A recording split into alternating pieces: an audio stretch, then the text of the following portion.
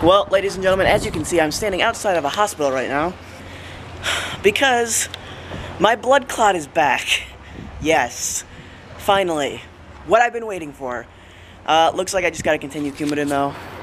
Uh, so, it's all good. What's cracking, you guys? Lucas here. I am just relaxing right now, getting ready to lay down, uh, head to bed. Today was a busy day. Um, I went to the doctor this morning, and unfortunately, it looks like my blood clot that I was told was gone isn't actually gone, but it's like what it's doing is like absorbing into the wall of the vein, I guess. Um, I'm not really sure like exactly what that means, but I'm going to a hematologist next Tuesday, I believe. Next Tuesday or the next. I'm not really sure which one. Um, but you know, it just it just sucks and I you know, today I've been thinking about like you know, I could I I've been thinking about how, you know, like this last year has been like has been pretty much based off of this blood clot. Like I got it, I think I want to say November something. I that's when they discovered it. And uh you know, it's just bothering my leg and it's being stupid and my leg has been swollen for like almost a year straight. I mean, it has its days. I guess from what the doctor told me that it could uh, it could go down and it could not go down. My swelling.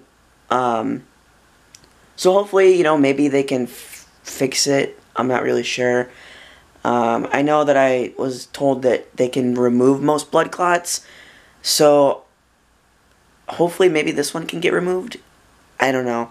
That would be really cool if they could do it because it's it's honestly a pain in the ass to deal with, you know, having my legs swollen all the time. You know, it's like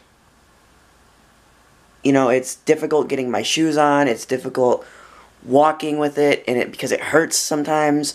And it's just a pain in the ass to be honest with you.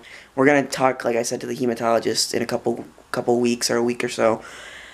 But yeah, that's been my day. I hung out with Alex a little bit.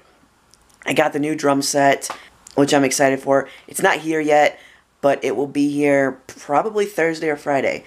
Um, the latest will be Saturday, I guess I was told. So I'm really excited about that. Um, that my drum set is finally coming, or my new drum set, I should say. It's electric, and it's going to be awesome, and I can't wait for it. And yeah, but like I said, I am headed to bed. Um, just gonna relax, watch, finish watching Haven. I have like an episode and a half left, so I think I'm gonna probably watch that before I actually fall to fall to sleep. But yeah, anyway, guys, I hope you had an awesome day. I will talk to you tomorrow. Good night.